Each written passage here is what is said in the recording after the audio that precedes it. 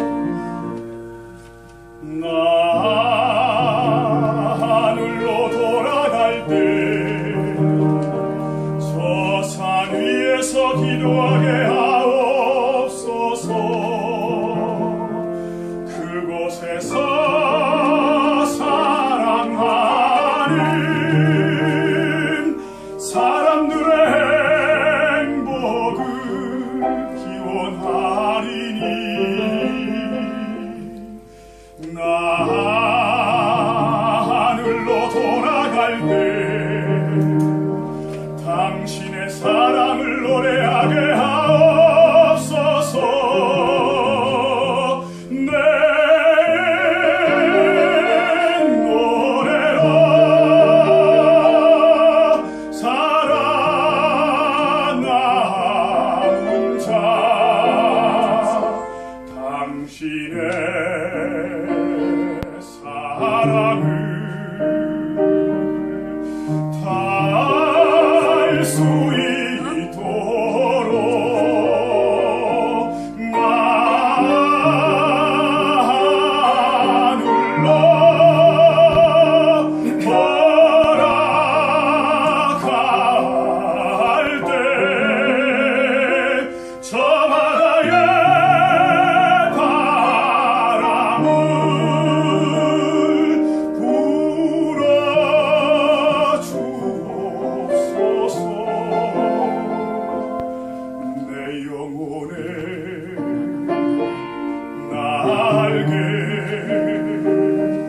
Vol volare ad al